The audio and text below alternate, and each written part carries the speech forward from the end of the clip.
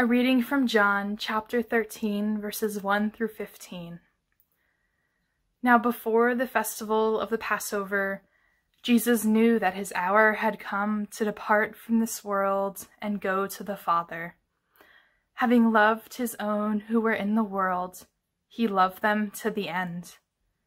The devil had already put it into the heart of Judas, son of Simon Iscariot, to betray him. And during supper, Jesus, knowing that the Father had given all things into his hands, and that he had come from God and was going to God, got up from the table, took off his outer robe, and tied a towel around himself. Then he poured water into a basin and began to wash the disciples' feet and to wipe them with the towel that was tied around him. He came to Simon Peter, who said to him, Lord, are you going to wash my feet? Jesus answered, You do not know what I am doing, but later you will understand.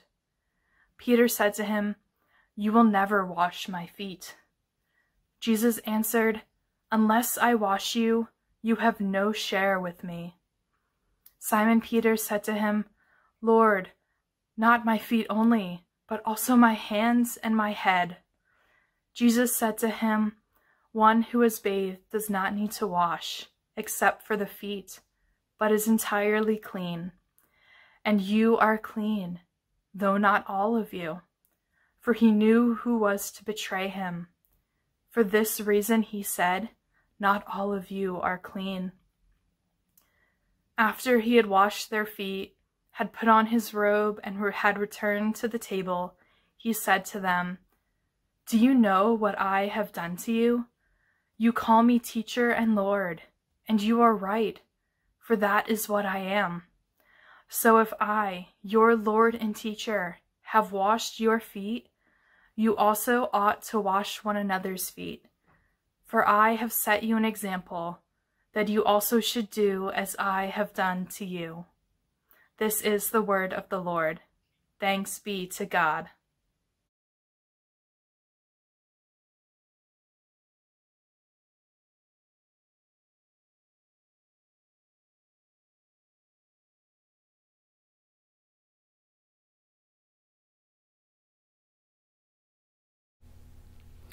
I love that throwback to our children singing in 2015 because don't we all need to be reminded of that in the midst of it all? He's got you and me, brother, in his hands. He's got you and me, sister, in his hands. He's got everybody here in his hands. He's got the whole world in his hands. Those little voices were just a balm to my soul and a gift to my spirit in this year in which the whole world seems to have been shaken. He's got the whole world in his hands. Do you remember back to last Maundy, Thursday, and we were just beginning this online season. And I shared with you then a short video clip from Mr. Rogers' neighborhood. Maybe you remember the clip well. You see, at a time when racial tensions were at a height in this nation, Mr. Rogers welcomed Officer Clemmons to soak his feet in the tiny pool in Mr. Rogers' backyard. And you remember what he did, of course. He gave up his seat, he shared the water. He took up the towel. He dried Officer Clemmons' feet, and without having to say so much as a word, he modeled the love of Christ. There's so many ways to say, I love you. You'll find so many ways to say, I love you. I had no idea back last Maundy, Thursday, about the increase in racial tensions that we would experience over this last year. Together with the pandemic, that struggle has dominated our headlines. And I have often replayed that Mr. Rogers clip in my mind and the power of that small, subversive act of friendship.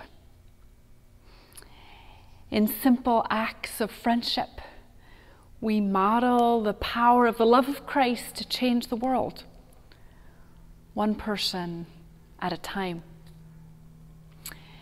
And it's hard to throw stones when you are washing feet. Maundy, Thursday teaches us about many things, and one of those things is friendship, holy friendship. We read just a part of the story tonight from John 13, but if you want to read the full story in John, you'll need to read from chapters 13 through 17. Read it all together, and you'll see Jesus washes the disciples' feet. He gives them a new commandment. He promises the gift of the Spirit. He calls them to abide. And ever so tenderly, he says these parting words I do not call you servants any longer.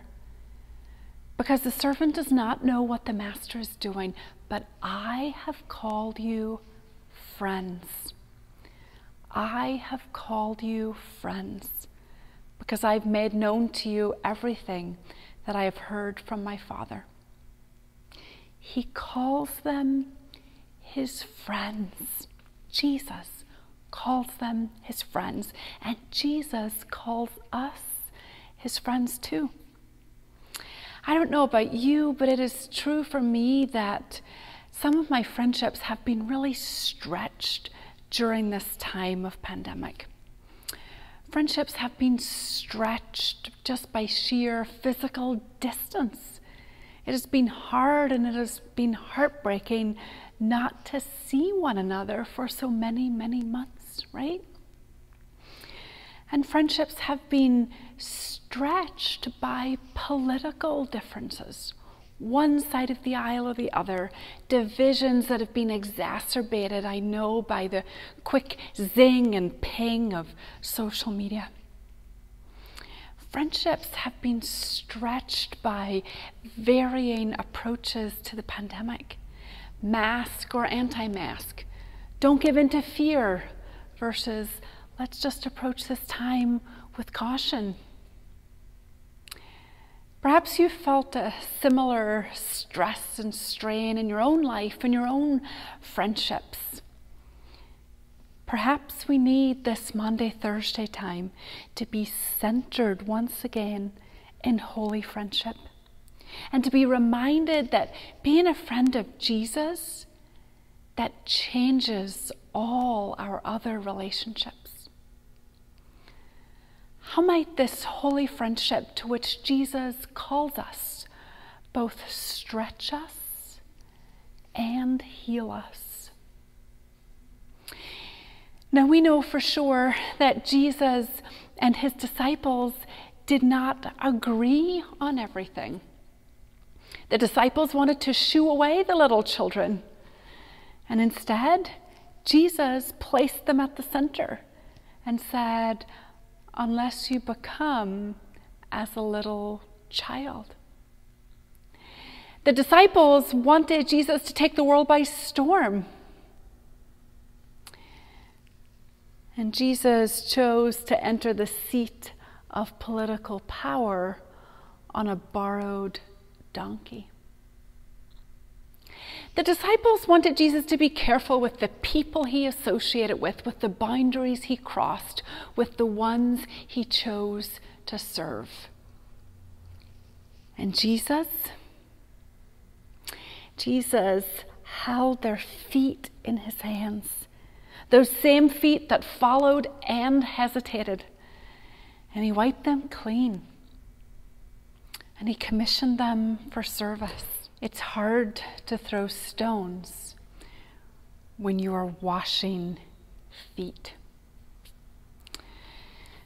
Being a friend of Jesus stretches us to see and encounter the world in new ways humble, loving, serving, boundary crossing ways, which ultimately bring about the healing and reconciliation for which we ache, for which we long and for which we pray.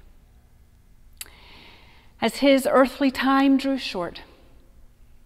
This is what Jesus wanted his friends to know, to remember, to emulate, how he wanted them to live in the world.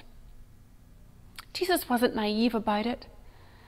On this very night, he told them, In this world you will have trouble. But nevertheless, this is the new commandment. As I have loved you, now love one another. This is how people will know that you are my disciples. It's hard to throw stones when you are washing feet. Our work now, it seems, love and serve, heal and bless, eat from the bread, drink from the cup. Jesus says, Remember who I am, so that you may remember who you are. My friends, my beloved friends. This day, may we remember and never forget. In the name of the Father, and of the Son, and of the Holy Spirit. Amen.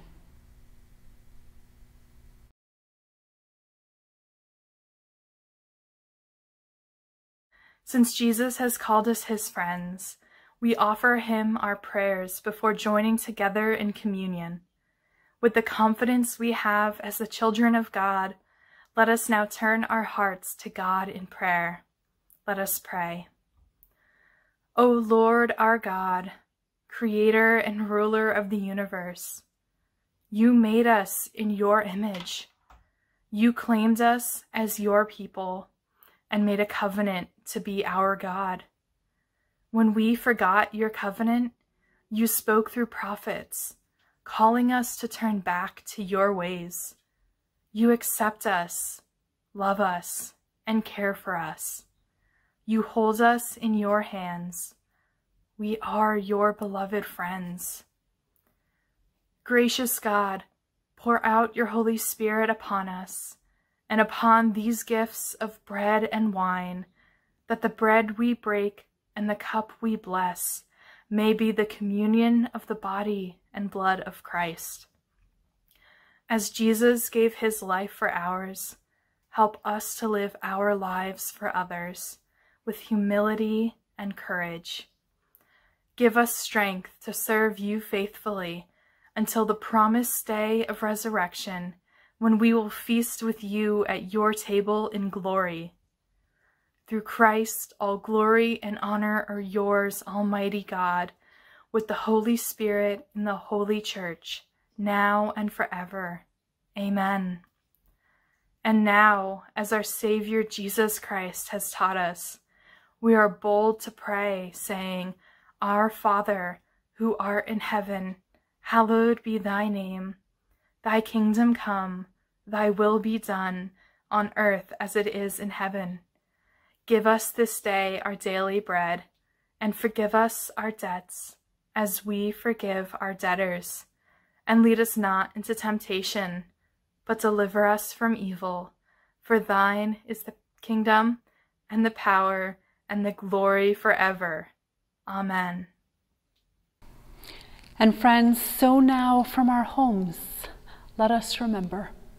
Let us remember how on the night that he was handed over to suffering and death, our Lord Jesus Christ took bread. And after he had given thanks to God as we have done, he blessed it and broke it. And he gave it to his friends and said, Take, eat. This is my body. It's broken for you. Do this in remembrance of me. In the same manner, after supper, he took the cup saying, This cup is the cup of the new covenant sealed in my blood. It's poured out for you and for the many for the forgiveness of sins. Whenever you drink of it, do so in remembrance of me. Therefore, every time we eat the bread and drink from the cup, we remember the saving love of Christ until he comes again to gather all of his children home. Now I invite you to share in the elements which you have gathered. And as we join in communion, we listen to words of praise, words of invitation. Put your hand in the hand of the man who calmed the waters. Put your hand in the, in the hands of the man who calmed the seas. Take a look at yourself and you may look at others differently when you put your hand in the hand of the man from Galilee, your friend, my friend, our beloved Jesus.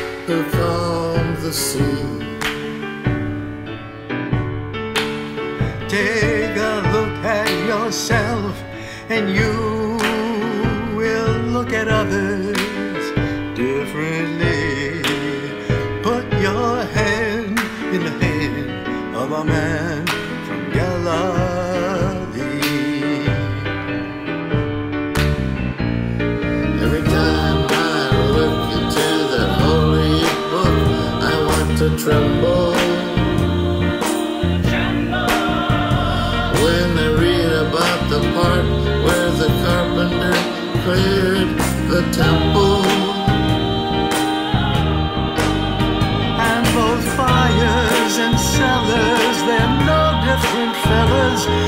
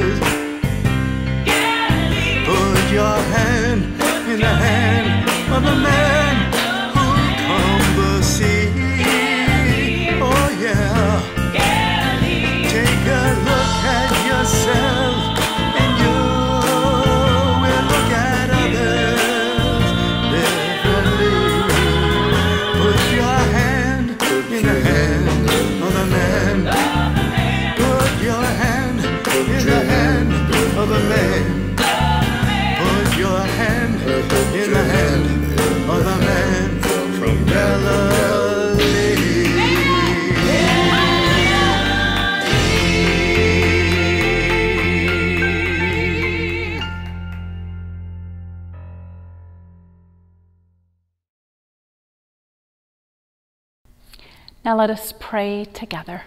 Let us pray. Holy, gracious God, on this Maundy, Thursday, we remember we remember that you have commanded us to love one another as you have loved us. So help us to do it well. May the gift of this sacrament strengthen us for the days to come. In Jesus' name we pray. Amen. My beloved friends, beloved friends of Jesus, may the grace of our Lord Jesus Christ, the love of God, and the communion of the Holy Spirit rest upon and abide with you on this holy day and forever and ever. Amen and Amen.